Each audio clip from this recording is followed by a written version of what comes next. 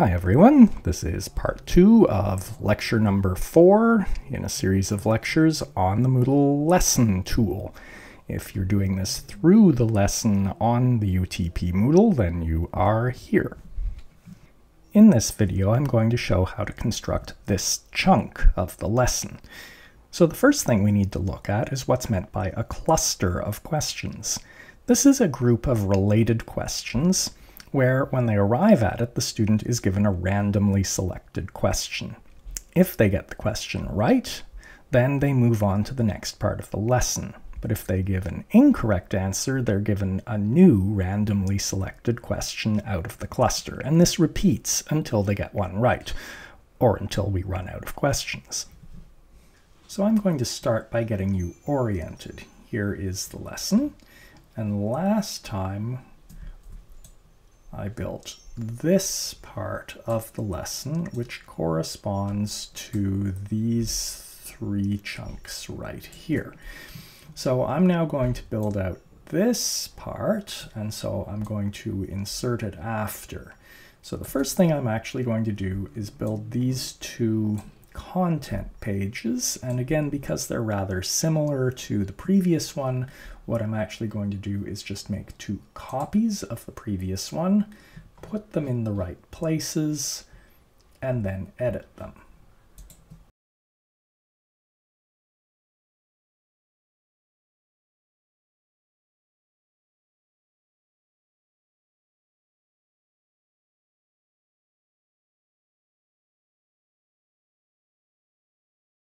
There, I've done that, although I'll note, first of all, I've unlinked the places where the videos will eventually be because those videos aren't built yet, and also these links of where these go to are not correct.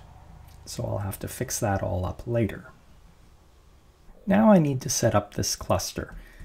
Because it is going to go in between these two content, content pages, that's where I'm going to build it. Again, I could actually build it anywhere and just deal with the links to make sure students see it in the right order, but that tends to be confusing if you come back to edit things later. So I'm going to put it here where it lives. So the first thing I'm going to do is I'm just going to say add a cluster. And now you see this cluster here, but I need another piece. I need to end and add an end of cluster as well. So there, now there's a cluster and an end of cluster, and I'm going to build the questions in between them. Before that, though, I'm just going to do a slight edit here because you can end up with a whole lot of clusters and ends of clusters, and when you're doing your linking, you can easily mix them up. So I'm going to just change the names of these, and I'm going to arbitrarily say, since these are following lecture 4 part 2, I'm going to give them names that sort of indicate that. And that's just going to help me stay organized. So the next step is to populate this cluster with questions. Now I'm not going to make real questions, much like the not a real question back here, which was just to show you how all these links worked. I'm going to make some fake questions where it'll be clear to you which answer will lead where. So I'm going to come in here at this cluster and I'm going to add a question and I'll make it multiple choice.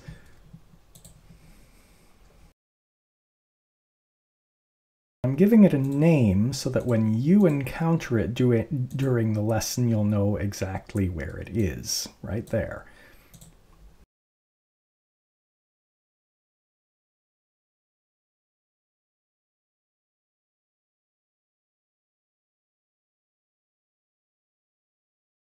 Okay, so I have made the question. When you encounter it, you'll know exactly what question you're in, and you will know which answer will go where. I just need to set up the links. So for this correct answer, what I want it to do is go to the end of this cluster. And then for each of these, the setting we want is unseen question within a cluster. That's what will make it go to a different randomly selected question in this cluster. So here I am back out in the main page and I have just made two more copies of that question and I have just given them each different names and put those names into the text so that when you encounter them when you're doing the lesson, you'll see where you are and you'll be able to examine the behavior. So the one remaining thing is that right now, lecture 4 part 3 isn't built yet, and so I don't really want the end of the cluster going there. So I'm going to, for now, send it back to the main menu. But of course, later on, I'm going to want this end of cluster 4.2 to link to this other lecture. So just a comment, at the moment there's no way for a student to get to this new part of the lesson because the previous part here links back to the main menu and there are no links currently leading here. That's because I haven't finished this lecture, and so I don't want to open it up. But in a while, after I've finished that, I'm going to have to edit this link so that instead it'll come down here. One piece of linking I should do though is that this part 2 lecture should go to this cluster. So I will fix that link. There we go.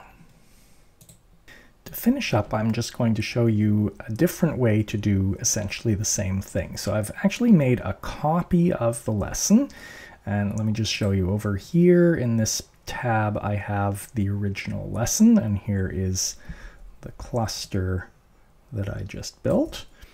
But now over in this new one, I'm going to do it slightly differently. So I'm going to go in here and edit. And what I'm going to do, I'm going to break it for a moment because I'm going to remove this cluster. And I'm going to remove this end of cluster.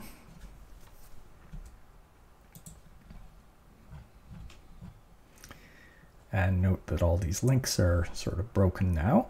Um, and instead, I'm going to put in here an end of branch. And as before, I'm going to give it a slight edit just so that it fits into my organizational scheme. Uh, so uh, now I'm going to have all of these questions go to that end of branch if the student gets the answer correct. And what I've done here is I've almost finished building a branch instead. So a branch always starts with a content page and ends with an end of branch and has questions in between. And other than that, it works just like a cluster, right? So the, con the contrast is that in a cluster, it starts with a cluster ends with an end of cluster and there are questions in between. Whereas a branch always starts with a content page. I prefer to use clusters because they have these nice markers at beginning and end that makes the organization easier. But I will show you in the next lecture how to put a branch inside a cluster. So let me just finish this up. I need to fix up the links. The correct answers from these questions will need to go to the end of branch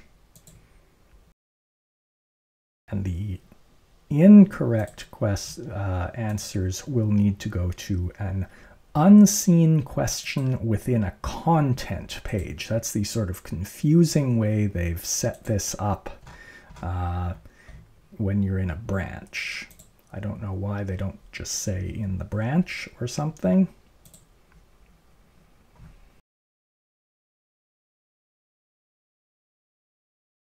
And then again, this end of branch, uh, well, first of all, I want this lecture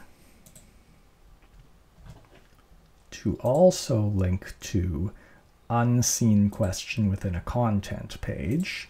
That is going to, to send it to a random question in this branch. And the end of branch will eventually go to lecture 4 part 3. Uh, and so I'll actually do that for now, but I'm going to delete this whole lesson anyway. Okay, and so aside from the fact that still this is not linked up to here because this video isn't made yet, this is now a working branch.